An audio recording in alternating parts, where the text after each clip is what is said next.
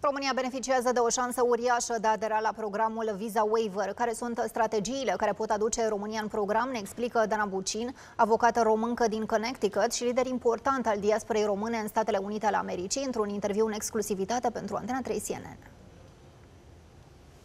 Visul de a călători în Statele Unite fără vize este mai aproape ca oricând, după vestea că am putea intra în programul Visa Waiver. Cererea pentru aderarea României în Visa Waiver program este de a reduce rata de refuz a vizelor sub pragul de 3%.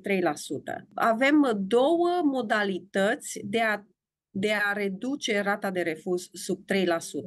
Unu, și cea mai puternică modalitate este încurajarea reînnoirii de vize oricine are o viză care ori a expirat în ultimii patru ani, ori uh, e încă validă, chiar cu mulți ani încă validă, aceste persoane sunt încurajate să aplice la renoirea vizei, care se face foarte simplu, online, pe site-ul Consulatului SUA în București, fără interviu și cu o rată de aprobare de aproape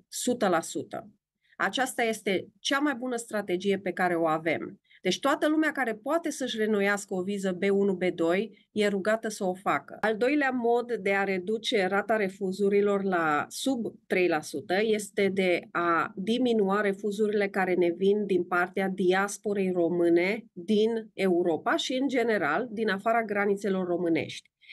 Uh, pentru a putea explica aceasta, țin să vă ilustrez faptul că sub legea americană există o prezumție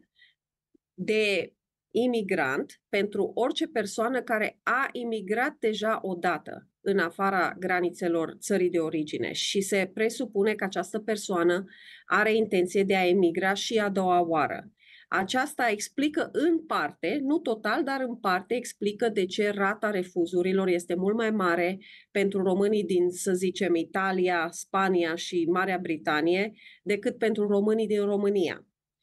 Ca atare, orică ne place, orică nu ne place această prezumție legală, ea se aplică și atunci, ca să putem reacționa în mod pozitiv uh, la această informație, um,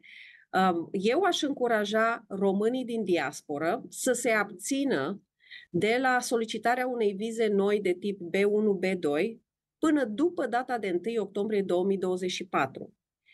Dacă se abțin, reducem rata de refuz și reducem necesitatea de a compensa în țară cu mai multe aplicații aprobate. Ca să explic acest concept, orice aplicație negată în diasporă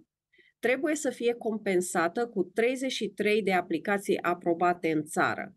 Și pentru a reduce această necesitate, vreau să informez românii din diasporă că dacă se abțin pentru încă câteva luni de la solicitarea unei vize noi B1, B2 în țara lor de adopție, la consulatul din uh, SUA, din țara lor de adopție, atunci poate vor avea surpriza plăcută ca după 1 ianuarie 2025 să nici nu mai trebuiască să solicite astfel de vize, căci vor putea călători nestingeriți. Beneficiile intrării în program sunt multiple. Dacă intrăm în Visa Waiver Program, vom avea mult mai multă mobilitate între România și Statele Unite ale Americii, pe plan cultural, educațional, medical, legal, în toate domeniile de activitate, inclusiv antreprenorial și comercial, în sensul că acei antreprenori, medici, avocați, studenți, uh, artiști vor putea călători mult mai nestingerit între România și Statele Unite,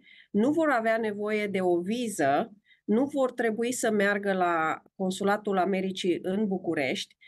pur și simplu se înregistrează într-o bază de date care se cheamă ESTA, costă aproximativ 14, 14 dolari să te înregistrezi în ESTA comparat cu 185 de dolari cât costă o viză B1-B2. Diaspora română susține puternic aderarea României la Visa Waiver. Noi ne-am mobilizat de îndată ce am văzut că relațiile bilaterale SUA-România s-au întețit la un uh, nivel unde putem în sfârșit să împingem acea uh, inițiativă Visa Waiver Program și suntem la acel nivel acum, anul acesta.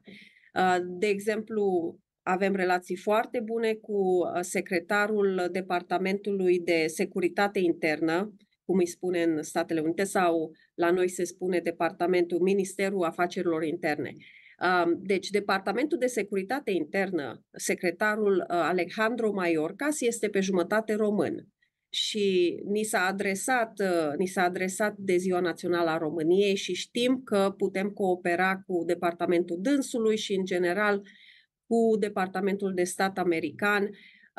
Avem cooperarea lor